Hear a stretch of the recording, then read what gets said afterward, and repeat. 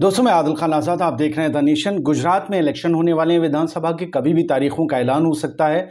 प्रधानमंत्री लगातार दौरे कर रहे हैं। अमित शाह साहब दौरे कर रहे हैं। प्रधानमंत्री लगातार योजनाओं का वहाँ उद्घाटन कर रहे हैं। गुजरात की जनता को तोहफे दे रहे हैं। फिर एक बार उनकी उम्मीद है कि गुजरात की जनता भारतीय जनता पार्टी को चुनाव जिताए। इसी सिलसिले में भारतीय जनता पार्टी गुजरात गौरव यात्रा निकाल रही है। और इसी सिलसिले में जब जेपी नड्डा साहब पार्टी के राष्ट्रीय अध्यक्ष जाते हैं भाजपा की गुजरात गौरव यात्रा में तो वहाँ पर क्या देखने को मिलता है? कि उनकी सभा में सुनने वालों की जमात सिर्फ़ अगली पंक्ति में है और पीछे का हिस्सा वैसे ही खाली है, जैसे प्रधानमंत्री नरेंद्र मोदी की रैली में खाली दिखाई दिया था। कुछ वीडियोस के ज़रिए हमने दिखाया था उनके हवाले से।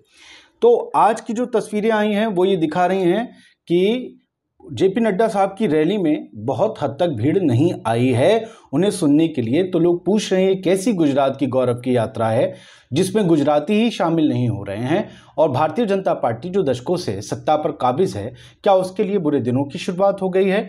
क्या एंटी इनकम्बेंसी ने इतना ज़ोर पकड़ा है? क्या भाजपा का गुजरात से जाना तय है? उस गुजरात से जहाँ से प्रधानमंत्री नरेंद्र मोदी और अमित शाह साहब आते हैं। फ़िलहाल जीएस टीवी वहाँ का एक लोकल न्यूज़ चैनल है उसने जो वीडियो शेयर किए हैं, वो अपने आप में सवाल उठाते हैं। बहुत बड़ा चैनल है, इसके बहुत ज़्यादा फॉलोअर्स ट्विटर्स पर ट्विटर पर ही हैं। इन्होंने जो वीडियो शेयर किया है, उसे गुजराती में लिखा है। इंग्लिश में तर्जुमा ये है कि why BJP leaders can't gather crowd in Modi's home town itself fiasco in first meeting of Gaurav Yatra आप दुर्दशा देखिए बीजेपी की इस पहली गौरव यात्रा में, जिसमें ये कहता है टीवी चैनल कि बीजेपी के लीडर क्यों नहीं? मोदी के जो गढ़ है, उसमें ही भीड़ जुटा पाने में नाकाम है।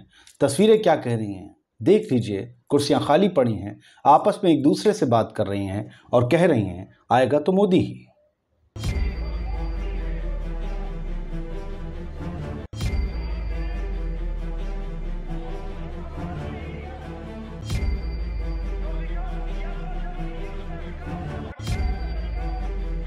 ये गुजरात गौरव यात्रा की तस्वीरें थीं, खाली कुर्सियों की तस्वीरें, कुर्सियों के लिए, बल्कि कुर्सी के लिए जारी इस जंग में गुजरात की कुर्सी के लिए जारी इस जंग में गुजरात में कई जगह कुर्सियाँ खाली देखी जा रही हैं, वो तमाम पंडाल बीजेपी के बताए जा रहे हैं।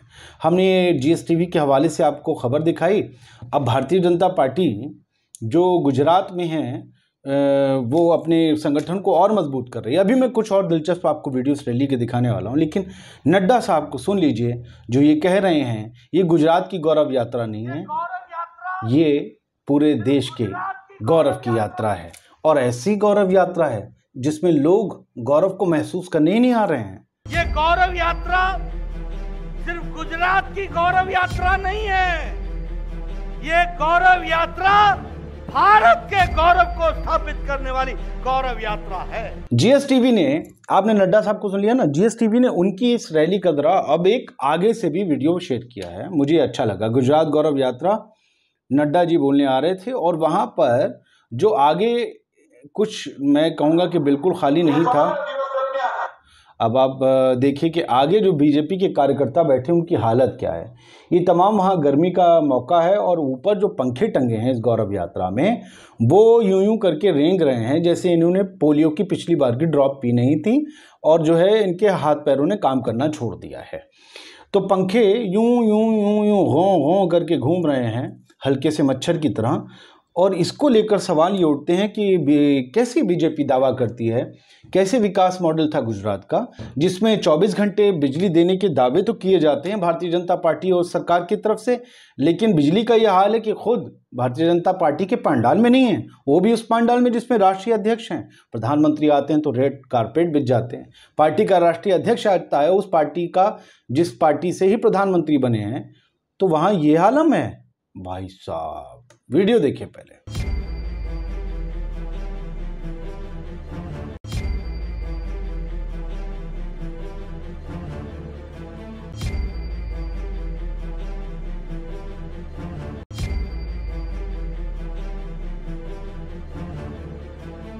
तो भाषण चल रहा है और पंखे रेंग रहे हैं।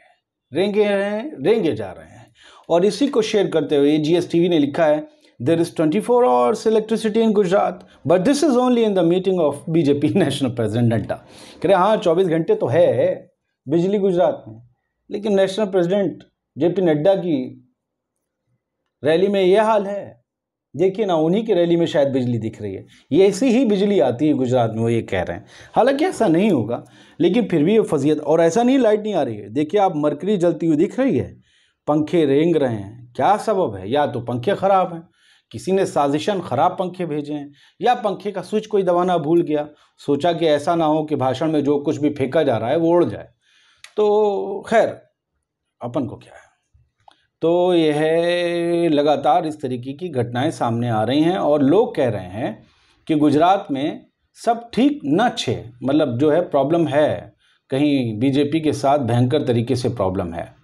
अब जो है इस पर एक और दिवेश हे, हेर पारा करके एक शख्स हैं और वो संभवतः किसी पार्टी से ही जुड़े होंगे, भारतीय जनता पार्टी। हाँ स्टेट सोशल मीडिया कोऑर्डिनेटर हैं, आम आदमी पार्टी गुजरात के। वो ये लिखते हैं कि भारत भाजपा की गौरव यात्रा में कुर्सियाँ खाली। पता नहीं गुजरात के लोग कुर्सियों को खुर्शियाँ क्यों लिखते हैं? खुर्शियाँ खाली।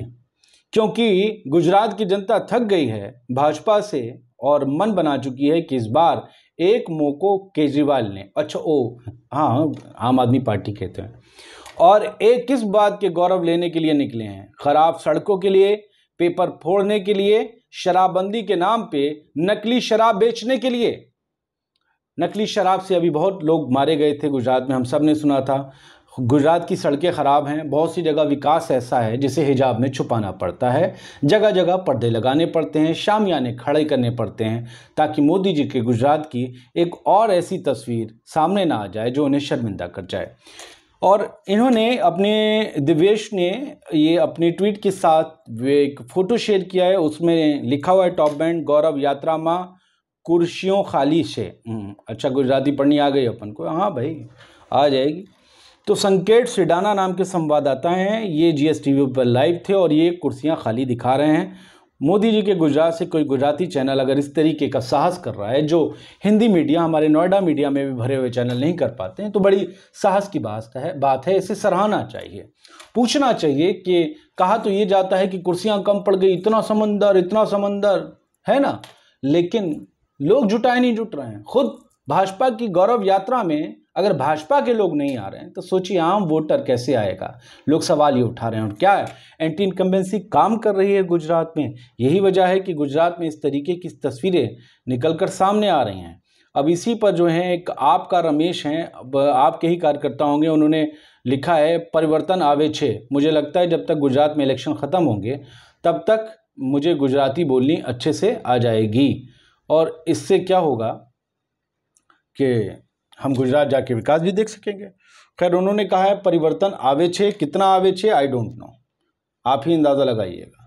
ठीक है तो ये सब कुछ गुजरात गुजरात में चल रहा है। जेपी नड्डा जी की रैली से, इस तरीके से कुर्सियाँ जो खाली रह गई हैं, उसकी तस्वीर सामने आई है। वो ये सवाल खड़ा करता है कि क्या गुजरात भी वो जगह बनेगा, वो ज़मीन बनेगी, जहाँ बीजेपी का पतन शुरू होगा, बीजेपी का अश्वमेध रथ जो है जीत का वो रुकेगा।